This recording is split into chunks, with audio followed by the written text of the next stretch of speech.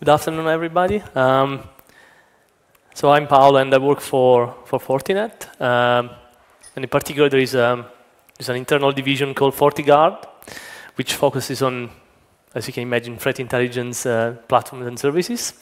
Uh, but I'm not here to sell any Fortinet products today. I'm not going to uh, kind of encourage you to buy one of our products. It's just like research that I've been doing since joining Fortinet um, last month, actually. So it's quite new. Uh, and uh, so, so summary of the talk is about you know what is a threat intelligence platform and services. Uh, what is the Cyber Threat Alliance? Um, how do people actually share data in the alliance? Um, how do we manage right now privacy and, privacy and anonymity in the, in the alliance? Uh, what kind of attacks uh, people have performed in the past um, against anonymity? Uh, and then the, one of the potential solutions is to adopt differential privacy. Uh, and I will put one example, uh, just a very um, educational example how you use differential privacy. Uh, there will be an example with uh, federated machine learning and another one with homomorphic uh, machine learning, right? And then we'll do a brief overview of what kind of which companies are working on uh, differential privacy and some roadmap for, for, for our current um, platform. And then some questions uh, at the end. Um, yeah, so I'm, uh, big disclaimer, I, uh, I'm not uh, a crypto uh, expert, so I know there are a few crypto people in, in, this room, so please, I apologize in advance if some of the formulas are oversimplified. Um, I've been working in cybersecurity in the last seven years. Uh, I worked for Microsoft before and other uh, small companies in the UK. Uh, my previous research was in uh, AI and robotics, so I was working on um, prosthetics, um, artificial gait. Uh, uh, this was at the MIT in Boston, so I was developing. I don't know if you see this nowadays. It's those things are were damn heavy. Uh, can you imagine? That was like battle and aluminium. It was each process. It was like I don't know. It was like 20 kilo or something. So nowadays they have all these sleek, uh, uh, you know, new materials. It's quite lightweight, but that that was at the time. It was must have been 15 years ago, something like that. If you see this today, just have a big laugh.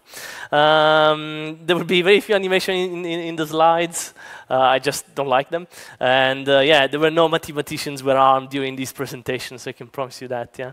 Um, I also wo uh, worked on uh, swarm uh, intelligence, uh, and um, this kind of some, that's why I kind of went into cybersecurity. There's a lot of applications of swarm intelligence in cybersecurity, but that's not for today. Um, so, can I have a, you know, I'll ask a, a, few slides to raise your hands, uh, just to get some few statistics for myself. How many people know about, uh, actually use a threat intelligence platform in this room? Okay, one, two, three, four. That's not too bad. Uh, that's good. And yeah, so, you know, for people that doesn't know about that, it's, uh, you know, I'd rather describe it by the actual functionality rather than uh, using an official definition. But uh, the, the, purpose of a threat intelligence platform is to aggregate intelligence from multiple sources. And uh, you know, there's a you know, you can pay. There's free ones, paid ones. Uh, there are different formats and kind of stuff. Uh, but the idea is to basically curate, normalize, and ingest all these external feeds, and then integrate those data with the existing uh, security systems or products you have. Uh, so, you know, you might have your firewall, IPS, endpoint products, uh, various API and US uh, SIEM solution. Uh, and obviously, there are a lot of vendors doing that. We're not the only one. Uh, so, so Fortinet, we launched the TIS. There was a there was a T before that, but they removed it because didn't that wasn't very politically correct. Uh, so Fortinet TIS was launched last year in 2017 in June. Uh, so you can register. Um, it's you won't, to be honest, you won't find much interesting stuff because it's quite new, but we're working on that. But you know, there are, there's other vendors which have been in this market for for longer time, so this, there's, there's more data in there. Uh, I, I this is just like a, short list of, you know, if I missed everybody in this room, please don't feel offended. Uh, there wasn't enough space. But, you know, there's Anomali, Palo Alto, RSA, Looking Glass, Cyber Solutions, LogRhythm, FireEye, Alien Vault. Uh, they're not in any particular order, so it's not any one better than the other ones. Um, and so obviously, if you have a platform, it's kind of pointless if you don't have data inside your platform. Uh, so that's why you need to, you know, it depends on your size of your company. So if you're a big company, like when I was working for Microsoft, I had telemetry for every possible customer from, from desktop to server. So I was ingesting huge amount of uh, uh, telemetry from, from you know, both uh, internal corporate networks, but also like ex external uh, customers. Uh, but you know, if you're a small company, you don't have much visibility. You have, you know, there's no way you, you have to buy threat intel from somebody. And you know, I put a few of them. So you have VirusTotal, FireEye, and A2Focus, uh, the providers. Um, and then, you know, you put all these massive data set, you combine them in your platform. And then if you have a SOC, you, you know, your SOC uh, security team will basically log into this platform and do threat hunting, you know, discover new trends, uh, find new stuff, and so on. And they can write reports on that one. They can publish them for the industry, et etc., etc. Uh, obviously, some of them are free. Some of them, obviously, free stuff is not as good as uh, uh the one you pay. But there's also paid services which are not that good. So uh, I don't want to make any names. Uh, but, but the big question is, how do you trust you know, how do you actually monitor the quality of the feeds you get every time you buy for a new customer, uh, from, from, a new feed, right? So it's kind of a big problem in, in this kind of uh, market. Uh, but hopefully there are sol some solutions that I'm going to talk about. Uh, you can achieve that with the um, with differential privacy.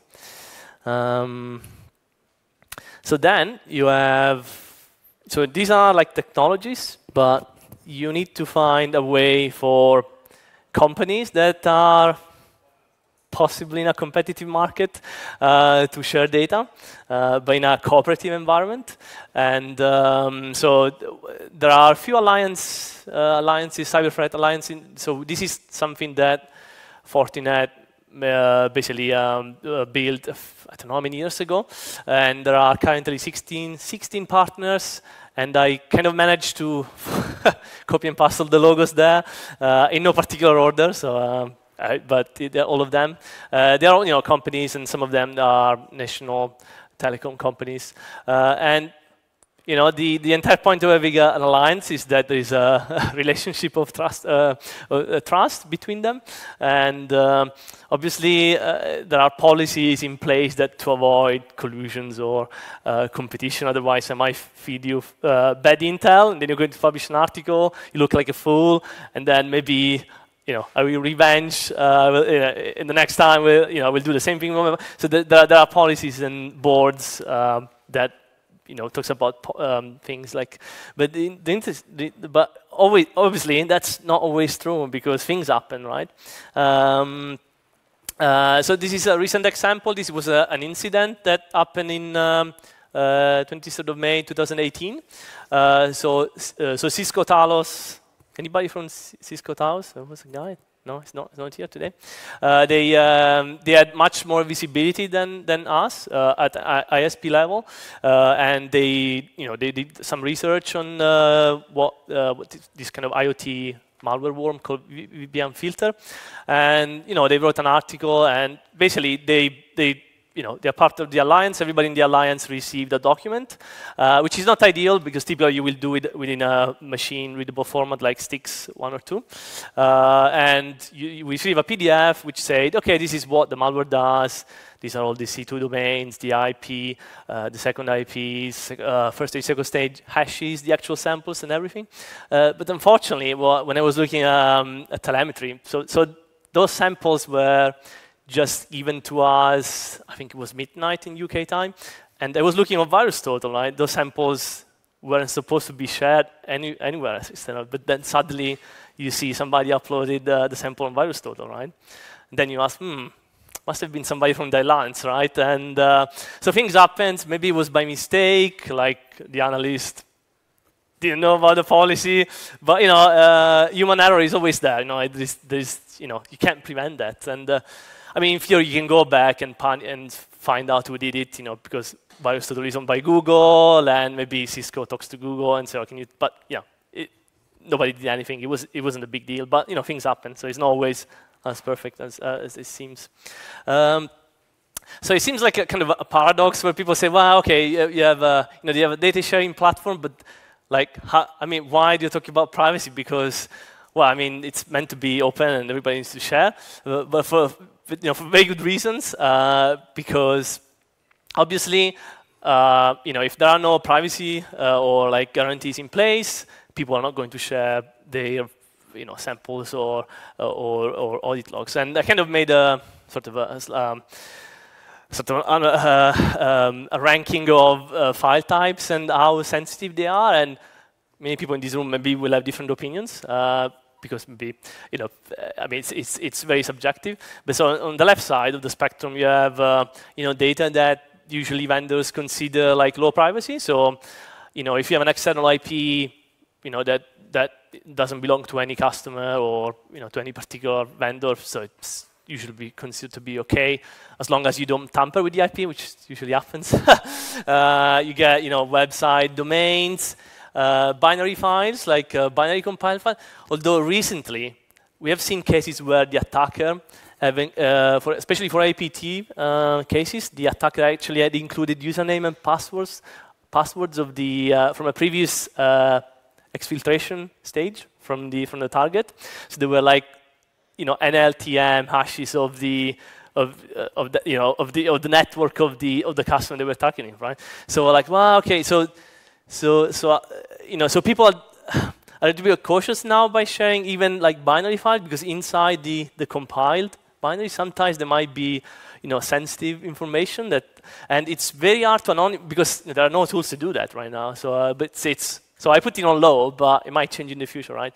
Uh, sandbox detonation is kind of okay. We, uh, there are cases where there are specific uh, attack groups that they, they try to fingerprint the particular sandbox that they've been running to. So you, you find interesting strings. Uh, strings. So we had a, in Microsoft, we had a sandbox solution and they were you know, really targeting that uh, that one too. Uh, so yeah, so you know, it's kind of yeah, it's not low, but in the middle. Uh, obviously, the software versions and products you use internally, kind of yeah, you don't really want to re release that because everybody knows if you're vulnerable or not.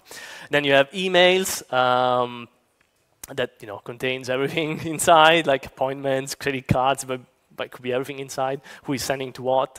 Uh, and then on the right side, which is what people generally don't share too much with the Alliance is uh, WEF, uh, you know, Windows event logs. And I've seen so many things, like when I was looking at uh, Windows event logs, there's everything from, well, IP addresses, obviously, you have uh, specific programs. When they open a new tab, you can see the URL from the command line. You can see um, hashes, like uh, password hashes in the command line. Uh, you can see, you know, if you have FTP, username and passwords, uh, people are sloppy, they just put in clear username and password in uh, command line events. Uh, you know, workstation names, usernames, and all sorts of stuff.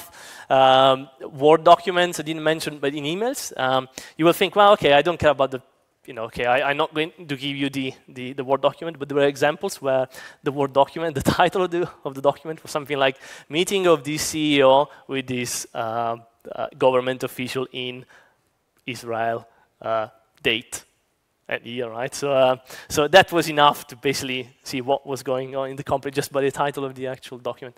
Uh, pcaps, of course, okay, IP, MAC address, URL, HTTP, tell everything that you know is not inside SSL. You can, you know, you can you can get all that information, but they are e easier to anonymize. Uh, Linux logs, obviously, audit logs. Um, so okay, so you know, so people say, well, okay, so what I can do is I can anonymize all these data, right? So I can uh, just before I send it to the threat intelligence platform, I can do some magic, I can do some shuffling, you know, I can hash some of the fields that I don't need to. Then I send it there. There's a bunch of people in the threat intelligence platform. They do that automatically or manually. They write IP signatures, AV signatures, web signature, whatever. They do internal monitoring, then release it to their customers. Uh, there is all the signatures, hopefully as fast enough. And then maybe you discover more, and then you get this kind of uh, positive feedback loop where you get more binaries and you re-anonymize them and you put in the platform, right? So this is kind of, uh, looks like good in principle, but actually it's not um, as, as good as it looks like. Um, so there is, so it, so that's anonymity. This is uh, talking about uh, privacy. Uh, there's, there's two concepts uh, in differential privacy. One is local privacy. Uh, it's quite easy to understand, and global privacy. Uh, and it's the same. You, know, you, can apply the same concept to, to anonymizing logs. But the idea is on, on local privacy scenario, you add noise at source, right? So you, let's say you anonymize, you anonymize your data before you send it to a, to a central aggregator, okay? Uh, and in differential privacy, there is a thing called randomized response that help you to do to do that to achieve good uh, guarantees in privacy. But then you have global privacy where you put stuff first in a central database, right? And then the analyst or whoever has, has access to that database can only do queries which are uh, uh, privacy protected, right? And there's another mathematical object called Laplace noise that can help you to achieve that.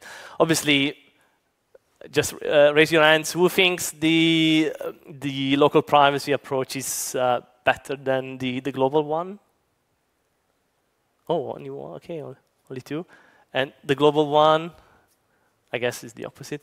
Um, there's different philosophy, but the, the, main problem here is that if somebody hacks you, if you're using a global privacy um, setup, if somebody hacks your, you know, your main DB, everything is in clear, right? So um, with this one, right, there's no way you go, go back to the source and find the original data, right? But there are, there are there's pros and cons, but generally the left side is more secure, the left approach, okay. Uh, so people say, well, okay, yeah, why are you talking about differential privacy? Yeah, you know, there's this concept, uh, okay, anonymity, how many people have heard of this? Okay, some people are interesting.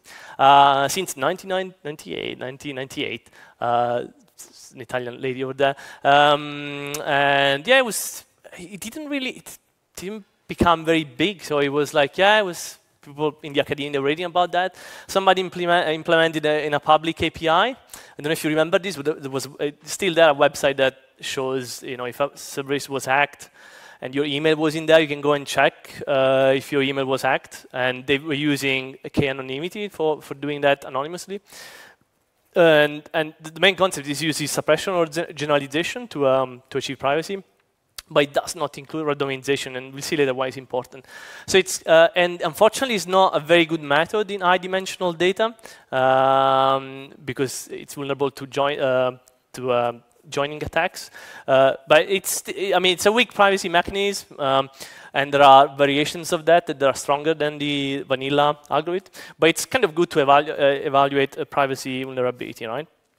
Uh, so this is an example from our own logs. So this is the AV log is an internal database where we store uh, information about uh, all the customers that are running our products. So we have antivirus products. Uh, and obviously this is anonymized in the slides already because you know I couldn't really put the you know the, original information. But uh, so this is a table we, we, we, we have actually inside Fortinet, and it's there's a few more columns, but the idea is you have a serial number.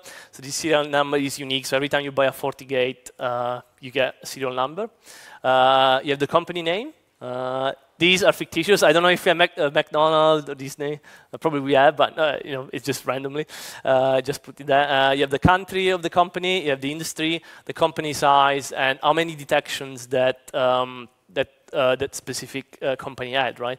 And the detections can be, in this case, was just antivirus. So like how many times we blocked something, okay? And this is in a period of 24 hours, this table, right? Uh, and okay, so if you use the, you can calculate the k anonymity for each column. And of course, uh, serial number as a k anon value of one because it's unique, so you can expect that. Uh, customer name is one because if you know if I tell you there's only one McDonald's for three, you know you can only register one company in the US called McDonald's.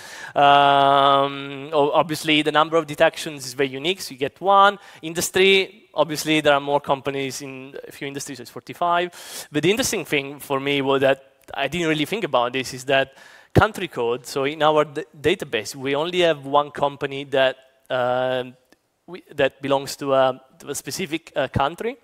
Uh, so that means it's that's bad, right? Because if I tell you well, okay, we, uh, one of our customers from, I'm making it up, from Trinidad, Tobago, had detections for uh, being infected by Loki or you know it was under attack, then say, oh, hold on. So I know that Fortinet uh, has only one customer called XYZ, you know, in in Trinidad Tobago. So you can work out, you know, from maybe from our sales official sales uh, reports or you know like the one that they give to shareholders you can find out who bought that and and dang so you, you can you know you can associate just by knowing the country.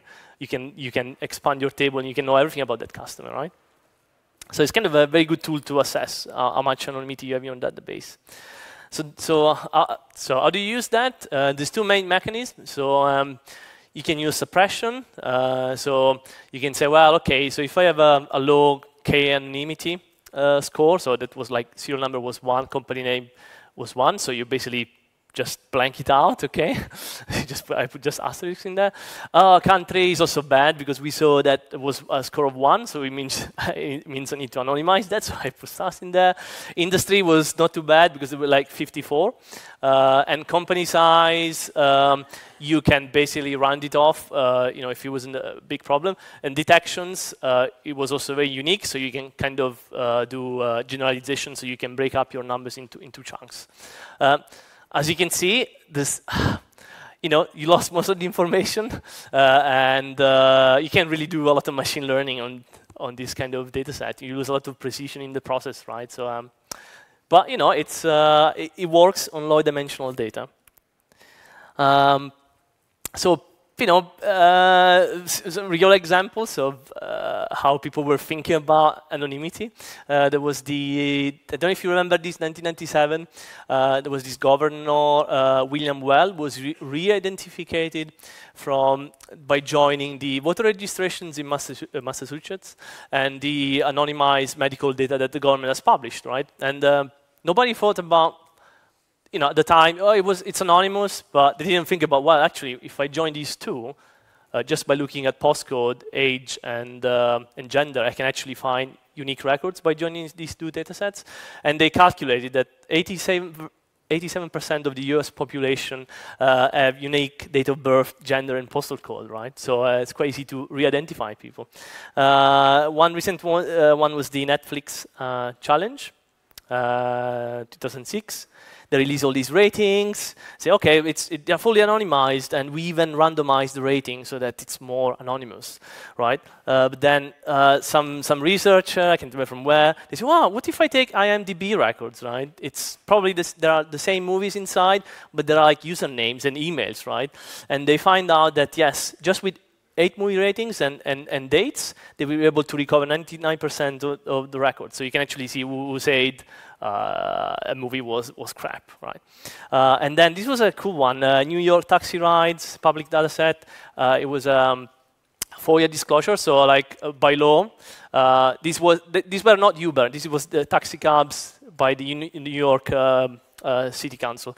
So they had to publish this data, and then somebody said, well, what if I look at this data and go into a paparazzi website, I can see if Julia, uh, this was um, uh, Joalet, uh, um, uh, Scarlett Johansson, I think, yeah.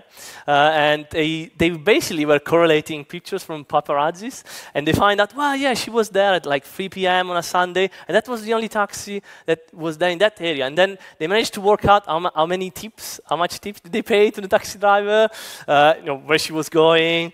Uh, they found some interesting patterns around nightclubs and uh, strip clubs, so they it was uh, not, not very nice. But yeah, so that's the stuff you can do. Mobile phone data is crazy. You can you can find uh, you can re-identify three percent of total users just uh, with a day of uh, um, a day worth of uh, trace uh, trace data, and you know you can re-identify. This is a paper, research paper, so you can. So obviously, mobile phone data is intuitively is also not very anonymous. Um, hacks and leaks always happen. So Ashley Madison in 2015.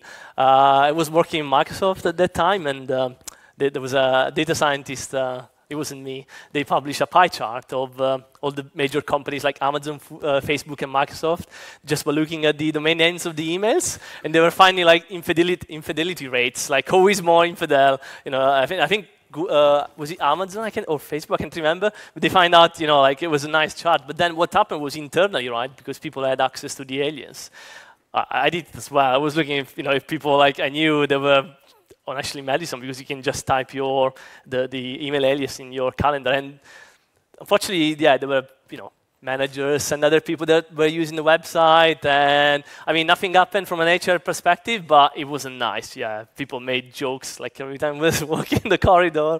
Uh, not very nice. And some one of the wives discovered, and somebody got divorced. So you know, there's some serious uh, side effects when you, you know, something like this happens. Uh, the, to, the 2018 leak uh, was like location uh, smart. They had a website web, web service that was open, so you can get uh, you can you can put your phone number or phone of a friend. You can get all this um, location history. That was pretty bad as well. And all these uh, times where companies were publishing stuff and they, they didn't do it properly. So like you can open the PDF, and it was just like a, um, a layer of, yeah, it was, you know, human errors, yeah, kind of stuff. Uh, yeah, so what do we want? So, you know, differential privacy is about asking the right questions. So, um, uh, and there's a few questions that we want to know, um, but without uh, disclosing too much information. And so, for example, uh, I want to see, for example, how many members of the alliance have seen a particular threat. And for that, you can use differential privacy. Uh, how many customers were infected? You can use differential privacy. Uh, could we combine individual detection fr from every vendor to build a global better one? So you can use um, federated machine learning. Uh, and you know how good is the detection that I produce uh, in, in uh, you know with dataset that I have, uh, have, never seen? So you can use homomorphic machine learning. Um, so okay. The definition of differential privacy uh, was uh, embedded by uh, Cynthia Dwork in 2006. Uh, she was working uh, for Microsoft at the time and uh, still now. And okay, it's pretty, I would say it's pretty basic. I mean, I'm not. Um, I did a little bit of probability calculus before, but the idea is that you know if I'm doing a survey and um, um, and I have two choices: one to say yes, I'm a smoker, no, I'm not a smoker I need to have a mechanism in place that allows me to, um, uh, to uh, that, that essentially introduce uh, a probability uh, error that doesn't allow me to go back to the original question, right? The way you do that is basically you introduce noise in your in your survey, so that the same observation could be could be the, the outcome of two different um, two different uh, uh, choices, right? and you have, you know you can calculate this bound, and you can also calculate the privacy loss. And of course, uh, it's not magic, so you have high privacy, you have low accuracy, you can have high accuracy and low privacy. This is not, that's, the entire concept is you lose something, you gain something, right? Um, mm -hmm. So this is an example. Um, so this is an example, a fictitious example. So I want to know if you know, how many customers or like how many members of the alliance have seen uh, the IPT group 37 uh, this month? And you know, people like customers or like members, they don't really necessarily want to um, disclose that they're seeing that threat actors in that specific month. Um, so the way you could do that is basically you have each uh, each members of the alliance responds individually and we don't have a central database because it's, it's not a good idea. So everybody responds individually, and we shuffle uh, the, the responses before they go to the central server, right? And it's a very simple protocol, and you can calculate the formula by hand. It's quite simple. So you flip a coin, right? I flip one coin. If he goes head, I tell the truth. Then I flip it another time. Uh, sorry, if he's tail, then I flip a second time, and then I say yes uh, if, if it was head, or if I say no if it, if it was tail, right? And, and so basically you have 50% chance in the first one, and then 25% chance in the second roll, right? Uh, and so the question is, okay, so everything I get, it's in this you can see it's, it's Y. So this is the percentage of people that have said yes. So that's a percentage, so like 75% in the last row or 25% in the first row. And very simple formula. I mean, I did this, I mean, and it's correct. You can, know, it's very simple probability calculus. So you can uh, write the direct uh, equation and then you just invert it, right? And so that means if 75% of our members, of our customers say yes, okay, it means that uh, the, the percentage of people that really said yes is one, so everybody said yes, right? So this is the expected uh, expected uh, outcome, right? So because it's, it's probably it doesn't mean it's 100%. It doesn't mean it was actually 100%. It means that if you do this experiment, this survey many, many times, like infinite at the limit, uh, after many, many times, you will converge to that value. But every time you do a survey, it will not be that, yeah? So you have to understand, right, okay? And you can calculate these probabilities, and you can say, okay, this is the probabilities of, of observing uh, a yes, so P of O equal to 1 let's say it was like 60% uh, in that case. Uh, and then the conditional probability of having that observation uh, being yes, given the fact that the actual response was 1, it was 82%. But the opposite, uh, so the probability of, that I said yes, but I didn't say yes, is 0.33%. Uh, what that means is that there is a skew I mean, this is a little bit hard to understand, but it's basically, it's more likely if I see a yes that you actually have said yes for real, uh, rather than you say no, okay? So it's, it's, uh, it's asymmetric, but it's still uh, uh a privacy, you know, you can still do any particular infer inference, right? Because you can still say 100% that I said yes. Uh, I mean, this is a bit, I mean, it takes time to digest that, but yeah. Um, so 30 minutes. Uh, we have examples from federated learning. So this is, I took uh, DNS logs, um, and uh, the idea is you have three vendors. I put Cisco, Palo Alto Network, and Fortinet, and everybody sees a different, uh, you know, they have different feeds for, for DNS logs, and uh, I, I, would, I, I, kind of imagine that Cisco is seeing Alexa and um, is seeing like Alexa domains, you know, top 100 Alexa domains, but he's also seeing CryptoLocker, right? Uh, and he can build his own logistic regression classifier on that one. Palo Alto may be seeing Alexa uh, and, and GOZ, which is a, is a botnet, and Fortinet in the same period was seeing Alexa and, and GOZ, right? So everybody has their own uh, classifier that is able to tell if, a, if a domain was uh, good or bad. Uh, and the idea is that you, you can combine all these local classifiers uh, you can produce um, a big, uh, a global classifier, and then you can feed it back, right? And the way it works, it's you train your classifier in plain text, you encrypt the, the weights of the logistic regression, and you use basically um, uh, this Paillier uh, crypto that was invented in 1999.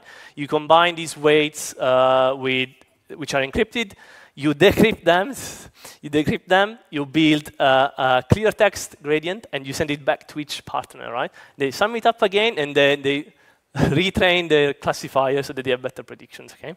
Uh, so trust me, it works. And to show that, I actually implemented it one version. Um, and I took uh, uh, 4,500 uh, DNS record logs, 4,000 were from Alexa, top 100 domains, well, the top yeah, 5,000 domains. I got OpenDNS, there were 52 uh, CryptoLocker domains, uh, 167 GOZ and new GOZ, roughly on the same in the same proportion. Uh, I train test split 80 20%. It's pretty common in machine learning, and I use logistic uh, regression with uh, gradient descent for like 50 iterations with learning of, but these all parameters, and I I'm using a key size of 124, uh, 1024 bits, which is kind of enough for the kind of precision you need for logistic regression. And you can see that, so before this is, uh, you know, on that slide, before it means every partner build their own classifier to classify those logs, and they, they achieved a certain uh, precision recall rate. So, you know, Cisco had 84, 76, 86, 82, etc. After you combine all these models, uh, the idea is hopefully you get something better, which did happen. So, you know, Cisco now gets 86% for both precision, recall. Palo Alto, it was very unlucky, he lost a little bit on precision, but gained some little bit more on recall. In Fortinet, uh, you know, we got 1% point more and, uh, you know, 3% uh, more on, uh, on recall. And although they seem like small percentages, when you talk about volumes, it's quite a lot, right? I mean, I mean, even in, in uh, vision machine learning, like if you have an improvement, like you know, it's, it's quite a lot, right? And obviously, homomorphic encryption. So Paillier is a form of semi, um, uh, not fully homomorphic encryption, and it just takes more time. You know, it's uh, so you know with with Paillier, it took me nine nine seconds on this MacBook Pro uh, to train you know, to do the entire um, the training loop. But you know, if I was doing it without, it was 196 times faster, right? So. Then, cool things, you can also use homomorphic machine learning for email filtering. Uh, this time I took a, um, uh, a public domain from uh, that, I don't know if anybody remember this, but Enron was, um, there was an investigation many, many years ago uh, by the US government because they were uh, involved in uh, various, let's say, not very legitimate activities, unfortunately. Uh, so what they did after the investigation, they published everything, right? And the funny thing is, like all the emails that they published from, from the internal corporate network, uh, they forgot to anonymize them. So, um, so uh, when I, at the time when I was looking into that, I found all the credit card numbers, social security numbers, uh, you know, people going to the doctor, people with cancer, that kind of stuff. And, and then, uh, you know, and then after a month later, oh, somebody said, well, actually, the credit card. And I was, oh, shit, okay. It's, and they, they, they took it back, so you can find the original data set. I have one, uh, but you can, if you go now, it's not anymore. There was a company who wrote regular expressions to remove all the credit card information, that kind of stuff. But you can download now the, uh, well, the one without private information. Um, so the cool thing you, you can do with homomorphic uh, machine learning is, uh, um, so you have, so Cisco, uh, one of our partners say, oh, I have, uh, I want to build a, a logistic regression model for classifying ham or spam, okay, or phishing, whatever.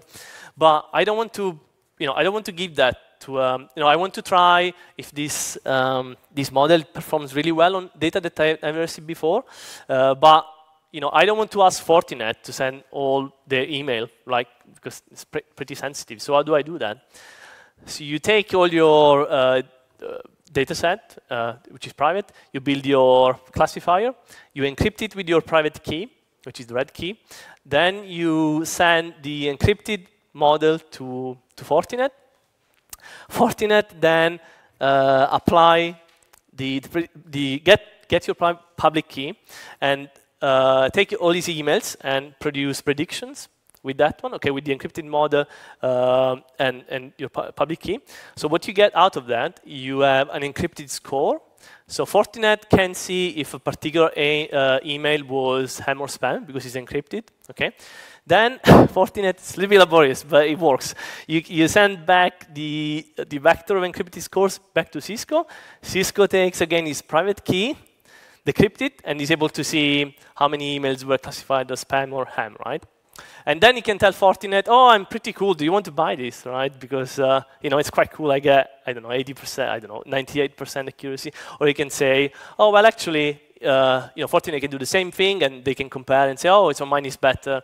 And I don't know, do you want to share the model or something like that? So, you know, you can do, you know, many things with it. And this was, again, with very basic Paillier crypto um, algorithms. And again, real example, so I took uh, 11,000 emails from the Enron dataset. Uh, it was a little bit unbalanced, so like 27% uh, uh, were uh, spam and 70% were ham. You do blah, blah, blah, train test split. Uh, I had 7,997 words from, from the text. And obviously, classify is fast, prediction is fast, it's basically less than a second. Uh, you calculate your, when you encrypt your weights, it takes time, 115 seconds, because you have a lot of weights there. It's like almost 800 words, 8,000 words. Uh, you then um, uh, send it to Fortinet. Fortinet needs to predict that with encryption, so it takes a little bit of time, so 44 seconds. Send it back to Cisco. Cisco decrypts it again, takes time, 19 seconds. But most importantly, you can see the error rate is the same because, okay, it's basically the, the key size in, is enough to guarantee the same precision, right? Uh, so yeah, and all of this was with default. Uh, I've used a, a, very common library that if you want, you can ask me later doing that. And uh, so who is doing this? There's actually not many companies doing that. Uh, and I made a list. Um, so Google released a paper, a tool in 2014 uh, called RAPPOR, which is randomized aggregated. it's like nicknames. It's not very good for to remember that. But, uh, and then they used the uh, uh federated learning on Gboard uh, in last April 2017. And RAPPOR is basically used to detect unwanted software in Google Chrome. So apparently, I don't know if it's true, but there is a RAPPOR, uh, there's a module inside Chrome that is using differential uh, differential privacy to, um, to monitor what kind of software people are installing, right? And basically what you have, you have an histogram, and uh, you know you can see the actual one, which is the, the blue one. So you can see it's kind of an exponential one. But then you have the, the one you get, which is privatized. It's you can see slightly different, but it still follow the same distribution, right? So you can still, you know, it's it's private, but you can still understand things, right? Uh, and it's very good for histogram and counting. Um, and so that's one module. And then they they are using federated learning to train a global model from local models. And what they do on the Gboard, which is the, the keyboard on your phone where it suggests your key um, when you're typing something, uh, they use the same approach. So you have a local model on your mobile phone, it gets sent to the, to the cloud, which is all encrypted. They mix it back, they send it back, and everybody get, you know, it, it basically gets better every time, more people you have uh, on the system. Apple December 2017, this kind of a war now. Everybody, every company is like, oh, yeah, they're doing differential privacy. Uh, they, they have three main algorithms. Uh, uh, count mean sketch essentially, and they use it for uh, I mean very frivolous uh, use case, basically discovering popular emojis, right? And uh, you can see they wanted to compare what's popular in English and French, and uh, I guess it's for marketing, but uh, there's not well, there's a few differences there. but also they also use it for identify high energy and memory usage in Safari, and for discovering new words, that kind of stuff. Uh, Uber, they have, uh, believe me or not, but they're actually working on differential privacy. And they have a very cool tool called uh, uh Chorus.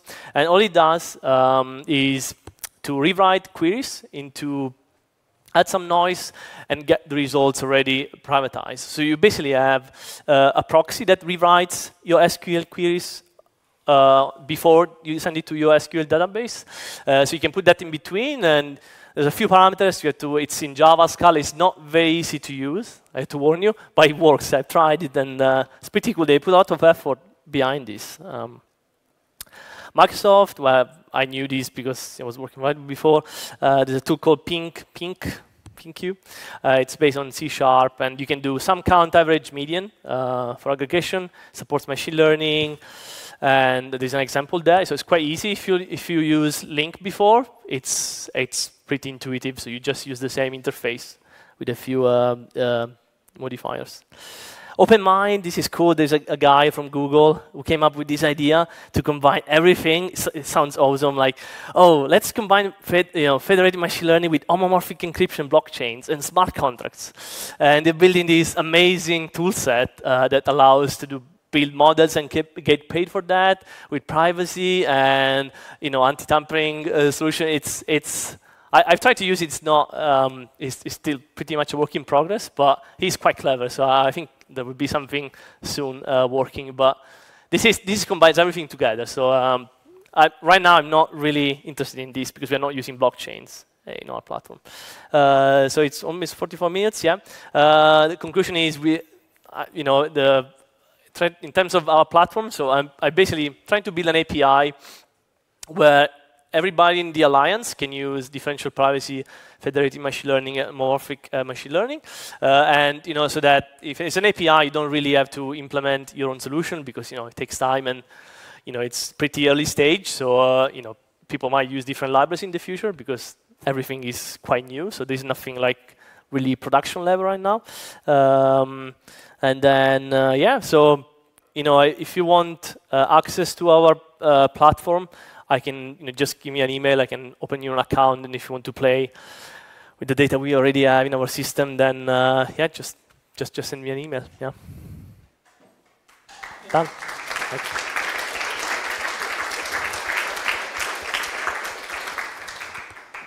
Uh, do we have any questions? Wow. oh no, there's no. Oh no, is the crypto? No ah. Okay. that was an amazing talk. Uh, so I'm not a machine learning expert. Actually, I'm, i barely even understand it sometimes. Okay. What, I, what I'm trying to understand is is do do some of these uh, these anonymization methods, privacy protection methods work for all machine learning methods? Because I understand there's a lot of different ways yep. you can build models. So how how flexible is this? So he's basically asking, can I apply homomorphic encryption to every algorithm? Um, you can, yes. Uh, there is no reason why you couldn't because, okay, so it depends on the so the Paillier scheme only supports multiplication, addition, uh, and sum. okay, and pr- product, sum, product, and sum. Right. So if you're doing something like um, a neural network that requires a logistic function, it's tough. You have to approximate that into um, a Taylor expansion. So you can't do everything right now, but the way I'm using it is that I'm just encrypting the weights of the of the model. So I'm not really training the actual model with homomorphic. You can do that. I mean, you can do that, but it just takes a lot of time. So this is just encrypting the weights, and then they're encrypted. I send it back, and the guy is basically decrypting the model and using that. So there's people have done it with neural networks, like the almost the you know the actual full implementation in, uh, it just takes just takes too much time because you have to approximate all these operations in sum and additions and constants, and you have to, you know, and you know, neural networks are big. So if you have like a, an image, you know, if you do deep learning, it's, it's not something you can do in a, you know, with, with you know, something like that you put in production for security logs. It's just forget it, right? Yeah. So yeah. Any other questions? We have some time.